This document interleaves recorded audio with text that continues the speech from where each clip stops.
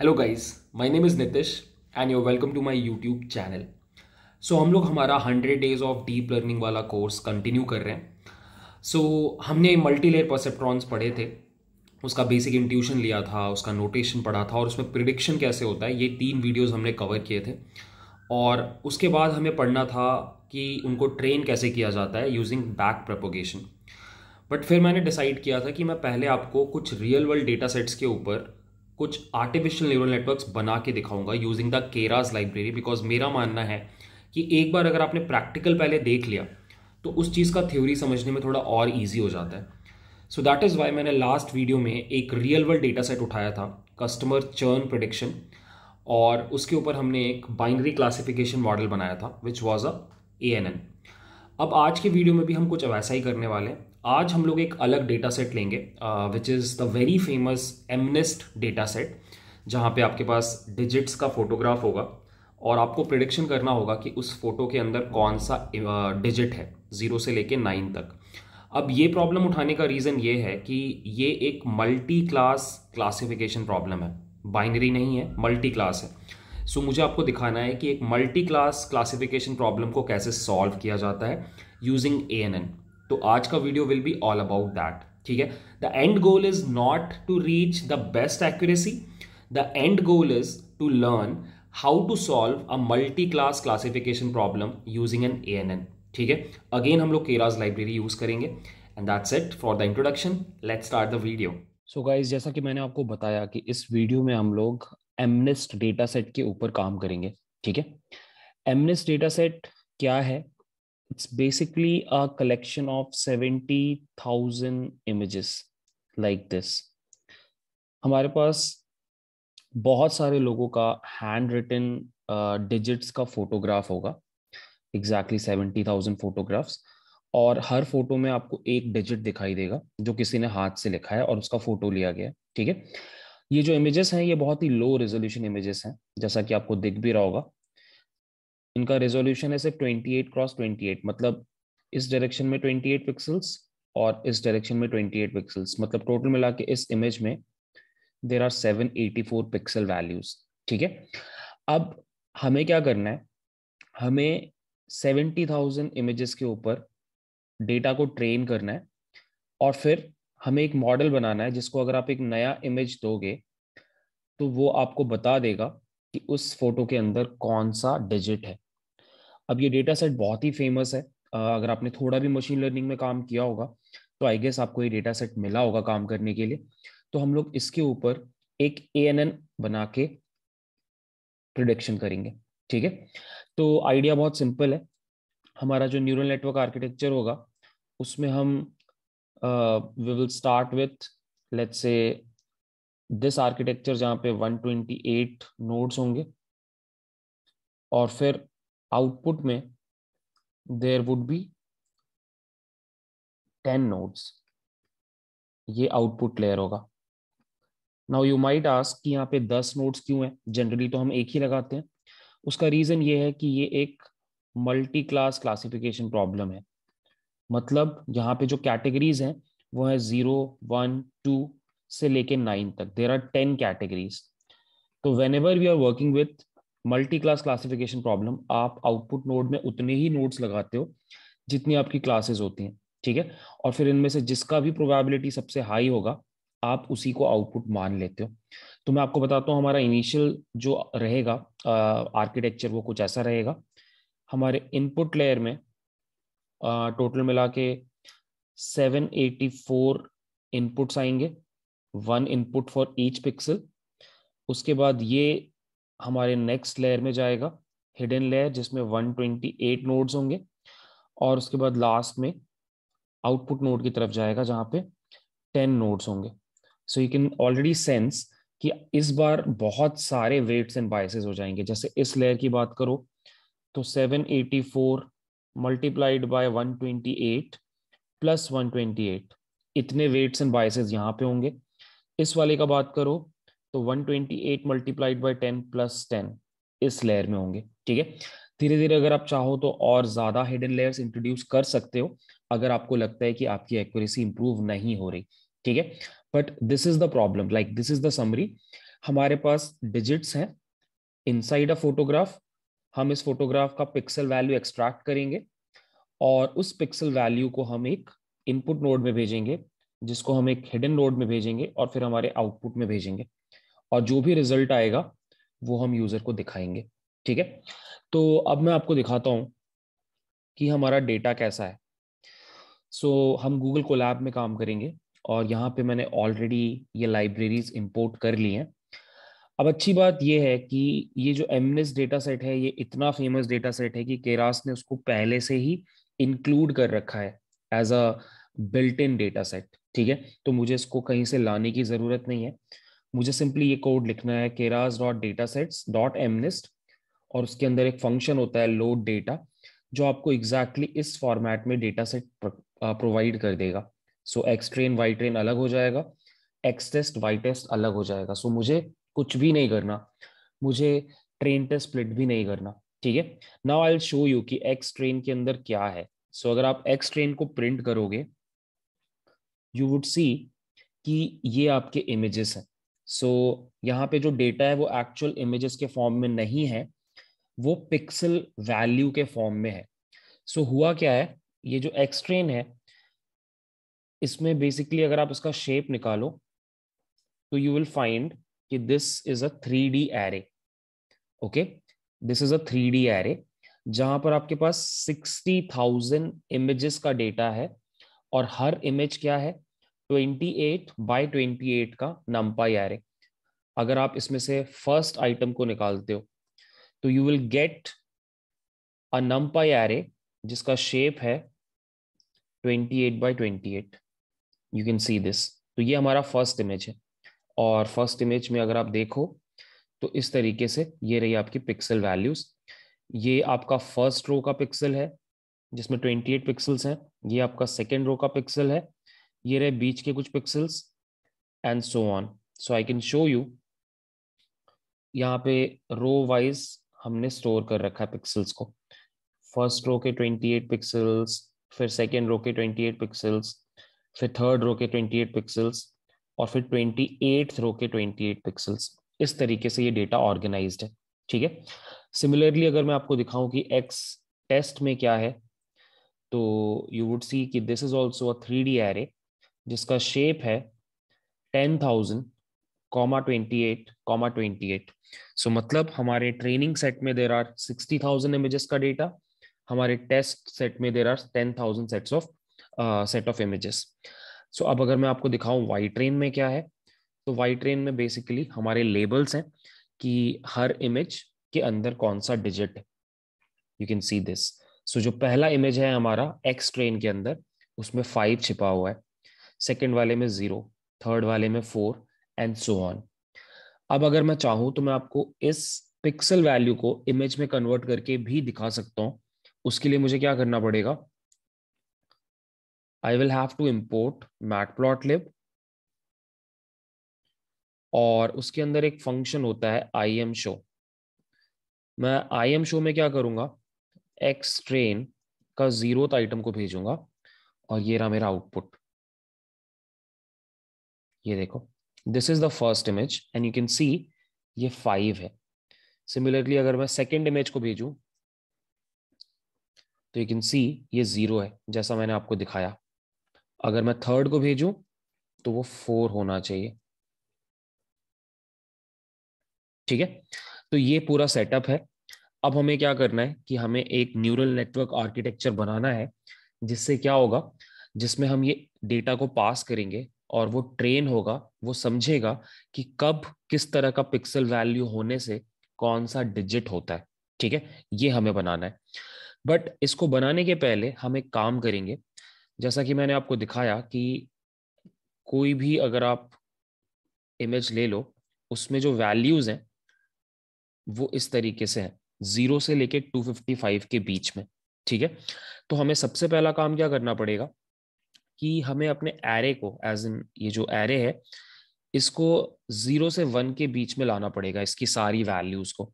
ऐसा मैं क्यों बोल रहा हूँ? क्योंकि जब भी आप न्यूरल नेटवर्क्स को ट्रेन करते हो वैल्यूज़ जितने सिमिलर रेंज में रहती हैं, आपके वेट्स उतने सही जल्दी से निकल के आते हैं और कन्वर्जेंस फास्ट होता है। ये हम डिस्कस करेंगे आगे, ऐसा क्यों होता है? बट इस पॉइंट पे बस समझ लो कि इट्स वेरी वेरी इंपॉर्टेंट कि आपके जो नंबर्स हैं वो सिमिलर रेंज में हो। तो हम क्या करेंगे? हम इन सारी वैल्यूज़ को 255 जो मैक्सिमम वैल्यू है, उससे डिवाइड कर देंगे। उससे क्या होगा? जो मैक्सिमम वैल्यू रहेगी 255 की, जब आप उसको 255 से डिवाइड करोगे तो आपका आउटपुट आएगा वन और जो आपकी मिनिमम वैल्यू है, वो है ज़ीरो जब आप उसको डिवाइड करोगे 255 से तो आपका वैल्यू आएगा ज़ीरो तो होगा क्या कि ऑटोमेटिकली आपकी सारी की सारी पिक्सल वैल्यूज़ ज़ीरो से वन के रेंज में आ जाएँगी और हमें वही करना है। So what I will do is I would write this code X train is equal to X train divided by 255 similarly, i would write x test is equal to x test divided by 255 और हम जैसे इस operation को run करेंगे, हमारा काम हो गया। I can quickly show you कि एक्स ट्रेन का जो ज़ीरो आइटम है अब बेसिकली फ़र्स्ट फोटोग्राफ उसमें अब सारी वैल्यूज़ ज़ीरो से वन के बीच में और हमें यही चाहिए था। ठीक है? अब हमें क्या करना है? हमें हमारा आर्टिफिशियल न्यूरल नेटवर्क बनाना है। तो उसके लिए हमें क्या करना पड़ेगा? बहुत सिंपल है। We will start with a model which will be a Keras sequential model ठीक है? अब हम इस सीक्वेंशियल मॉडल में धीरे धीरे लेयर्स ऐड करेंगे। There is only one problem the problem is कि हमें जो आर्किटेक्चर बनाना है, उसमें फ़र्स्ट लेयर में 784 पिक्सल्स का वैल्यू देना है। बट हमारे पास क्या प्रॉब्लम है कि इस फॉर्मेट में है डेटा 28 बाई 28 तो हमें क्या करना पड़ेगा? इस पूरे लेयर को पहले फ्लैटन करना पड़ेगा। बेसिकली आपका ये जो पूरा इमेज है, इसके सारे पिक्सल वैल्यू अभी टू में है। लाइक फ़र्स्ट रो का है, उसके बाद टू रो का है, फिर थ्री रो का है, इस तरीके से ऑर्गेनाइज है। मुझे क्या करना पड़ेगा? सबको साइड बाय साइड लाना पड़ेगा। ये रहा फ़र्स्ट रो का वैल्यू उसके ही बगल में सेकेंड रो का वैल्यू उसके बगल में थर्ड रो का वैल्यू और ऐसे ही ट्वेंटी एट रो का वैल्यू तो मुझे इस शेप से, इस शेप में आना पड़ेगा। ठीक है? और ये करने का एक बहुत बढ़िया तरीका है फ्लैटन लेयर सो केराज में एक फ्लैटन लेयर होता है, जो हायर डायमेंशनल एरेज को वन डी में कन्वर्ट कर देता है, ठीक है? तो मैंने उसको ऑलरेडी इंपोर्ट कर रखा है वैसे, यहाँ पर यू कैन सी इस बार मैंने लेयर में फ्लैटन को भी इंपोर्ट किया है। You have to simply write model dot add flatten layer okay और फ्लैटन में आपको बस एक चीज़ बतानी होती है कि आपका जो इनपुट शेप है जो आपको डेटा मिल रहा है, उसका शेप क्या है? हमारे केस में it is twenty eight by twenty eight ये ऑटोमेटिकली क्या करेगा? ये आपके डेटा को वन डी में कन्वर्ट कर देगा 784 इनपुट्स में कन्वर्ट कर देगा। अब आपको क्या करना है? आपको लिखना है मॉडल डॉट एड और यहाँ से अब आप नॉर्मल काम स्टार्ट करोगे। You will add your first dense layer let's say उसमें 128 नोड्स हैं, और जो एक्टिवेशन फ़ंक्शन है वो है लेट्स से रेल्यू जो कि ज़्यादातर टाइम्स सबसे अच्छा परफॉर्म करता है। ऑल्सो आपको इस लेयर में ये बताने की ज़रूरत नहीं है कि आपको कितने इनपुट्स मिल रहे हैं। वो ऑटोमेटिकली फिगर आउट हो जाएगा, क्योंकि फ्लैटन का आउटपुट ही डेंस को मिलेगा, ठीक है? और लास्टली आपको क्या करना है कि you have to add your output layer जिसमें इस बार दस नोड्स हैं, क्योंकि आपके पास दस आउटपुट क्लासेस हैं। और जो एक्टिवेशन फ़ंक्शन होगा, वो होगा इस बार सॉफ्ट मैक्स हमेशा याद रखना, जब भी आपके पास एक से ज़्यादा नोड्स होंगे आउटपुट में, आप सॉफ्टवेयर सॉफ्ट मैक्स यूज़ करोगे फॉर क्लासिफिकेशन ठीक है?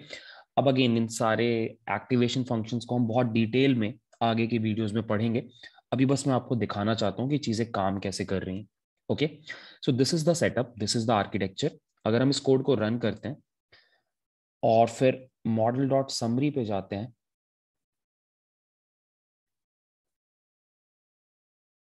You can see this is the summary of the model. So you can see कि सबसे पहले तो फ्लैटन लेयर में कोई भी ट्रेनेबल पैरामीटर्स नहीं है, क्योंकि वहाँ पे कोई ट्रेनिंग नहीं होता। वहाँ पे आप सिंपली हाई डायमेंशन एरेज को वन डी में कन्वर्ट कर रहे हो। फिर जैसे ही आपका ये लेयर आया first hidden layer there are one zero zero four eight zero parameters कैसे हुआ ये calculation I can show you आपको बेसिकली 784 इनपुट्स मिल रहे हैं और वो इनपुट्स 128 नोड्स में जा रहे हैं। तो दिस इज़ द नंबर और टोटल 128 बायसेस हैं। तो 100480 टोटल वेट्स और बायसेस हो गए। सिमिलरली अगर आप हिडन लेयर और आउटपुट लेयर के बीच में बात करो तो there are one two nine zero trainable parameters कैसे? बहुत सिंपल है। हिडन लेयर में 128 नोड्स हैं आउटपुट में 10 है। तो ये हो गए हमारे वेट्स प्लस 10 अपने बायसेस हो गए आउटपुट लेयर के। तो that is why one two nine zero और इसको ऐड करने पे टोटल इस बार हमारा जो न्यूरल नेटवर्क बन रहा है, उसमें एक लाख से ज़्यादा वेट्स एंड बायसेस हैं। एंड ऑनेस्टली ये ज़्यादा नहीं है, इससे बहुत ज़्यादा वेट्स एंड बायसेस के साथ आप फ्यूचर में काम करोगे, ठीक है? तो अब हमें बस क्या करना है? हमें अपने मॉडल को कंपाइल करना है और उसको ट्रेन करना है सो so दैट हमारा मॉडल सीख पाए कि कब किस तरह के पिक्सल पैटर्न से कौन सा डिजिट फॉर्म होता है। सो so, बहुत सिंपल है। We will write model dot compile यहाँ पे आपको दो तीन चीज़ें बतानी होती हैं। सबसे पहले आपको बताना है अपना लॉस फ़ंक्शन यहाँ पे जो लॉस फ़ंक्शन हम यूज़ करेंगे उसका नाम है sparse categorical cross entropy in fact एक और चीज़ भी होती है, जिसको हम बोलते हैं कैटेगोरिकल क्रॉस एंट्रोपी आप ये भी यूज़ करते थे, कर सकते हो बट हम sparse categorical cross entropy use करेंगे। दोनों के बीच में डिफरेंस बहुत छोटा सा है।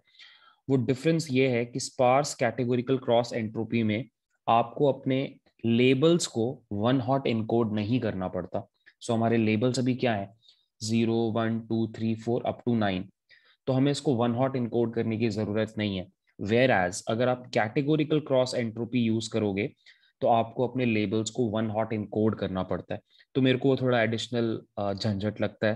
तो I not do that I instead use sparse categorical cross entropy also ये लॉस फ़ंक्शंस के बारे में आप अभी अगर नहीं समझ पा रहे हो कि ये क्या है डोंट वरी इसके ऊपर हम लोग एक वीडियो करेंगे, जहाँ पे मैं डीप लर्निंग में जितने भी फ़ेमस लॉस फ़ंक्शंस हैं, मैं उसको डिस्कस करके आपके सामने रखूँगा, ठीक है? तो आपको समझ में आ जाएगा कि क्या चल रहा है।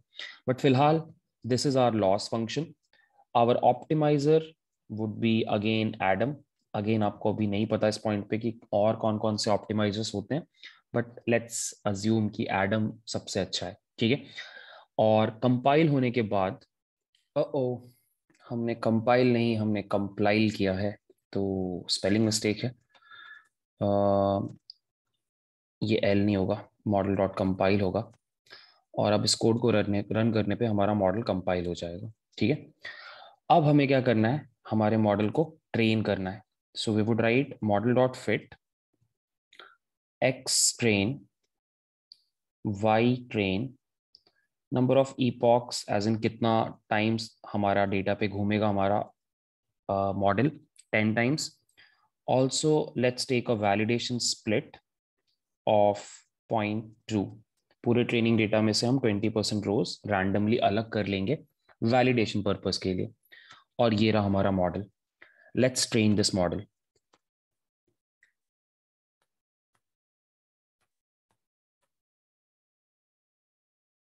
so you can see guys हमारा मॉडल ट्रेन हो गया। uh, हमारा लॉस शुरू में काफ़ी ज़्यादा था बट धीरे धीरे यू कैन सी वो रिड्यूस होता चला गया। ठीक है? अब मैं क्या करता हूँ? मैं प्रिडिक्शंस करता हूँ। तो प्रिडिक्शंस करने का तरीका बहुत सिंपल है। आपको ये कोड लिखना है मॉडल डॉट प्रिडिक्ट और यहाँ पे आपको अपना एक्स टेस्ट पास कर देना है। जैसे आप अपने एक्स टेस्ट को पास करोगे ये क्या करेगा? आपके सारे टेस्ट इमेजेस के ऊपर घूमेगा और फॉर एवरी इमेज वो ज़ीरो का होने का प्रोबेबिलिटी क्या है? वन का होने का प्रोबेबिलिटी क्या है? टू का होने का प्रोबेबिलिटी क्या है? और नाइन का होने का प्रोबेबिलिटी क्या है? ये सब कुछ निकाल के आपको देगा। ठीक है? तो ऐसा वो हर इमेज के लिए करेगा टेन थाउज़ेंड इमेजेस के लिए। तो एक काम करते हैं, हम इसको एक वेरिएबल में स्टोर कर लेते हैं वाई प्रोबेबिलिटी ओके बट हमें तो आउटपुट में ये दिखाना है कि वो इमेज वन है या टू है या थ्री है। तो हमें क्या करना पड़ेगा? फॉर एवरी एरे हमें पता करना पड़ेगा कि कौन से इंडेक्स पोजीशन पे वैल्यू मैक्सिमम है। तो वो करने का तरीका बहुत सिंपल है।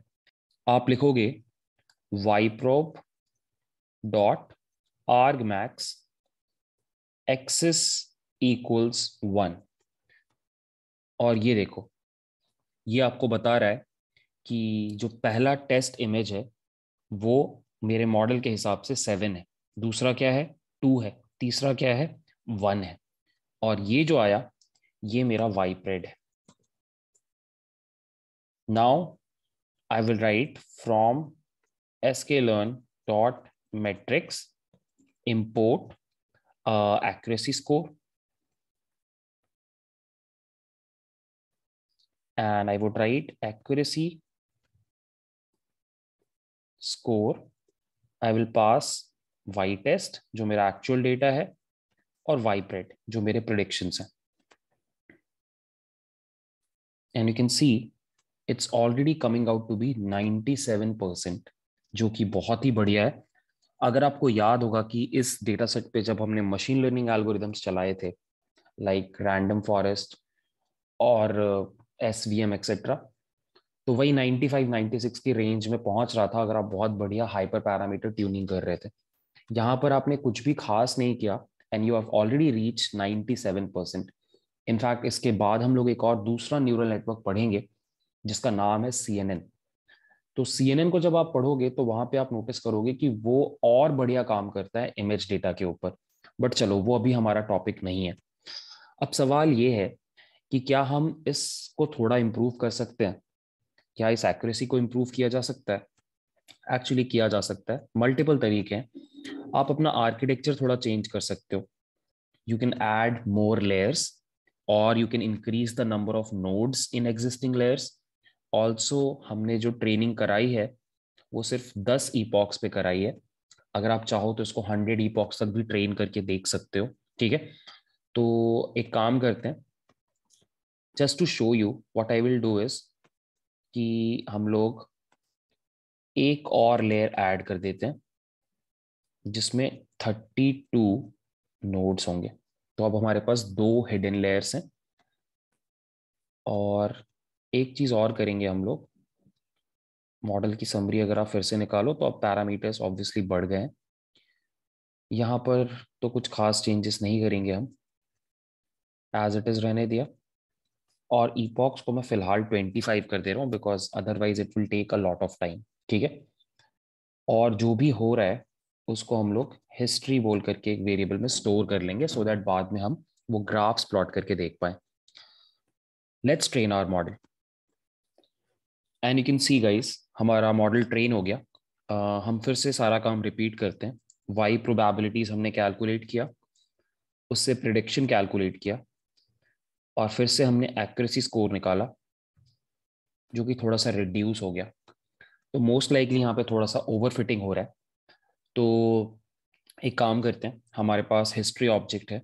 What we will do is we will write this P L T dot plot history dot history के अंदर से हमें लॉस चाहिए। This is training loss you can see जैसे जैसे ईपॉक्स बढ़ रहे हैं, आपका ट्रेनिंग लॉस रिड्यूस हो रहा है। What about the validation loss? Let's see the validation loss. So if you write val loss, you can see एक पॉइंट के बाद वो बढ़ गया, ठीक है?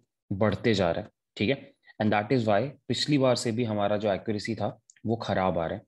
अगर आप ये सेम प्लॉट करो एक्यूरेसी के ऊपर वहाँ पे भी आपको इसी तरह का एक पैटर्न दिखाई देगा। वैल एक्यूरेसी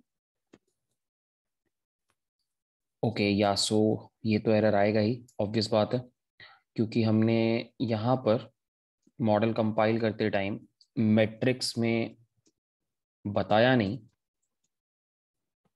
कि हमें और कौन से मैट्रिक्स को ट्रैक करना है। सो so, अगर हमें यहाँ पे एक्यूरेसी लिखते तो फिर, और मॉडल को ट्रेन करने के लिए, हमें फिर से चीज़ों को दोबारा से रन करना पड़ेगा।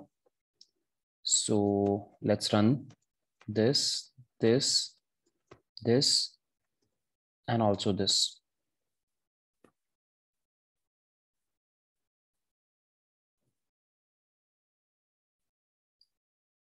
and अब आप देख सकते हो कि साथ ही साथ एक्यूरेसी भी ट्रैक हो रहा है। वैलिडेशन एक्यूरेसी भी ट्रैक हो रहा है ट्रेनिंग एक्यूरेसी भी ट्रैक हो रहा है और यही हमारे हिस्ट्री ऑब्जेक्ट में स्टोर होता जाएगा और हम उसका ग्राफ प्लॉट करके देख पाएँगे। And the training is complete आगे के सेल्स को जल्दी से रन कर लेते हैं।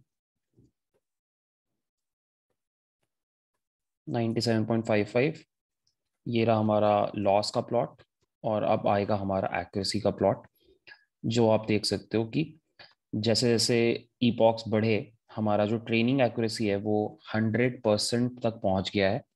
वेर एज हमारा जो वैलिडेशन uh, एक्यूरेसी है वो 98 के भी नीचे है ठीक है? तो slight bit of overfitting is happening here तो ओवरफिटिंग से बचने के तरीके होते हैं और हम वो आगे पढ़ेंगे। सो so, रेगुलराइजेशन एक टेक्निक हो गया ड्रॉप आउट्स हो गए उसके अलावा भी और बहुत सारी टेक्निक्स होती हैं। हम एक प्रॉपर हमारा एक सेक्शन होगा जहाँ पे हम पढ़ेंगे how to improve the performance of a neural network वहाँ पे हम ये सारे टॉपिक्स पढ़ेंगे। बट इस पॉइंट पे हमारा concern was to show you कि किस तरीके से आप एक मल्टी क्लास क्लासिफिकेशन प्रॉब्लम को एक आर्टिफिशियल न्यूरल नेटवर्क से सॉल्व करते हो। अब एक लास्ट चीज़ करते हैं। जो प्रोडिक्शंस हमारी आई हैं उनको एक बार देखते हैं कि कैसा काम कर रही हैं। सो so, ये रहा मेरा एक्स टेस्ट डेटा सो अगर मैं एक्स टेस्ट को प्रिंट करूँ यहाँ पे मेरे सारे टेस्ट वाले इमेजेस हैं ये रहा मेरा ज़ीरो इमेज ठीक है? अगर मैं इस इमेज को P L T dot I M show के अंदर डालूं तो ये मुझे दिखाएगा कि सच में इस फ़ोटो में क्या है। सेवन है ठीक है?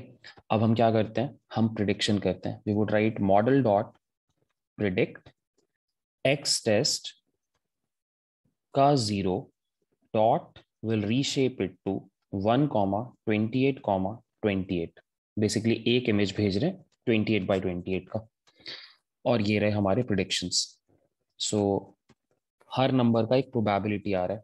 अब बस मुझे क्या करना है? इसके ऊपर लगा देना है। Arg max axis equals one और ये रहा हमारा आउटपुट सेवन एक और इमेज के लिए ट्राई करते हैं। मान लो यहाँ पर है हमारा दूसरा इमेज जो कि दिखाई दे रहा है टू और यहाँ पे भी हम लिखेंगे वन आउटपुट आना चाहिए टू और ये रहा हमारा आउटपुट तो सिंस 97 परसेंट का एक्यूरेसी है यू वुड सी कि ज़्यादातर इमेजेस को जब आप टेस्ट करोगे आपका प्रिडिक्शन सही ही आएगा। Okay so that's it for the code so that was the video guys अब बस एक वीडियो और बचा uh, जहाँ पे हम थोड़ा प्रैक्टिकल चीज़ें करेंगे और वो है कि हम एक रिग्रेशन प्रॉब्लम के ऊपर काम करेंगे यूजिंग केराज लाइब्रेरी वो हमारा अगला वीडियो होगा और फिर हम लोग मूव कर जाएँगे ट्रेनिंग की तरफ़ ठीक है?